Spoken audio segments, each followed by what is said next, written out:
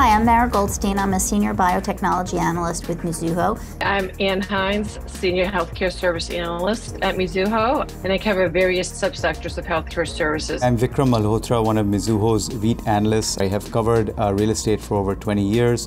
Uh, of keen focus to me recently has been some major themes, including life sciences, uh, which we're going to talk about today.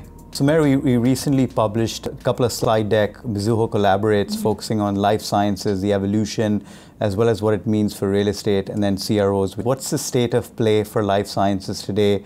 So it's, it's certainly a challenging time. As you know, the biotechnology industry, life sciences broadly, uh, encompasses some larger companies, but the vast majority of the universe companies are smaller. They're pre-revenue companies, so they require uh, consistent funding. Um, historically, companies have been able to access capital markets. Obviously, there's the IPOs, but in addition to that, follow-on offerings, typically pegged to corporate development opportunities or clinical development opportunities, things like that. Um, we've seen that window go dry. Historically, biotech companies, and here we're talking about these, again, pre-revenue development stage companies, um, you know, typically have about four to six quarters of cash on hand. We're seeing companies return back to that four to six quarters of cash on hand, um, but that does raise the question and potentially red flag for some companies as to when they will be able to fundraise again. So in order to alleviate some of those concerns, Companies have been doing things like restructuring and reprioritizing pipelines. Some companies that are in weaker positions, we're seeing them merge with other companies of sort of similar vein in order to combine technologies and stretch out cash runway.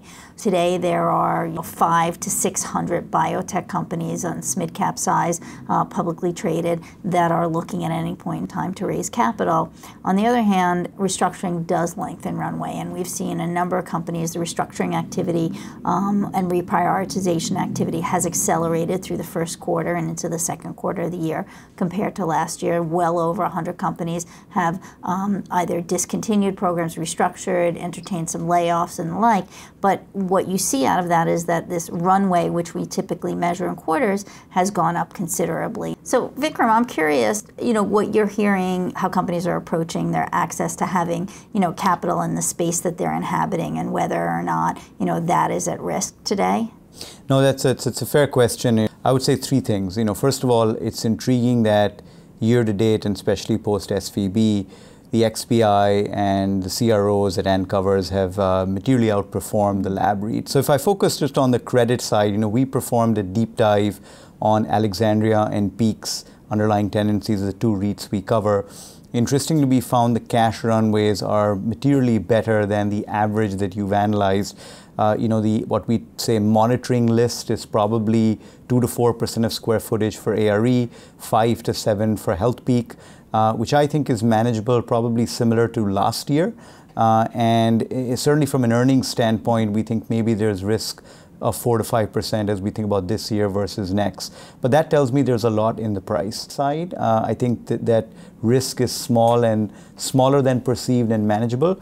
It's the supply side that we're working through. And I think Alexandria in particular is very well positioned to gain share. So if, for example, vacancy goes from 6% today to 10%, I don't think we see the same vacancy level in Alexandria's portfolio. we like the lab REITs here. We see it as a lower beta way to play what is clearly a still very challenged and uh, evolving life sciences market.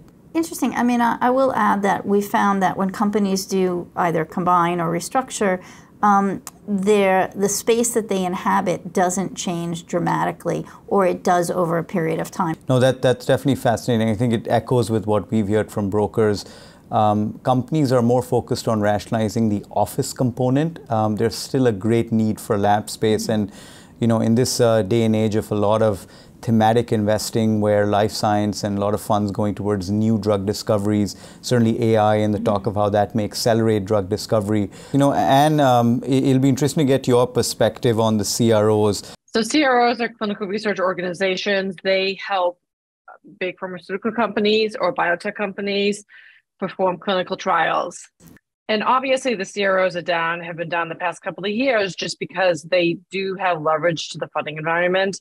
And the funding environment has been very strong over the past five years. So a big drop. But if you look at historically, that 60 billion is in line with historical ranges of 60 to 70 billion. That's more normalized levels for the so the for the CROs. if funding ever got down to like the 30 or 40 billion range, that would probably pressure revenue growth going forward. But we're not seeing that as of today. Um, and I would note that the, the publicly traded CROs, that it still is um, a fragmented market. And the publicly traded CROs, despite the funding environment, have still been able to maintain a book to bill, which is an industry bogey of future revenue growth of 1.2 to 1.3 times. And if they can maintain that, that translates into high single digit revenue growth.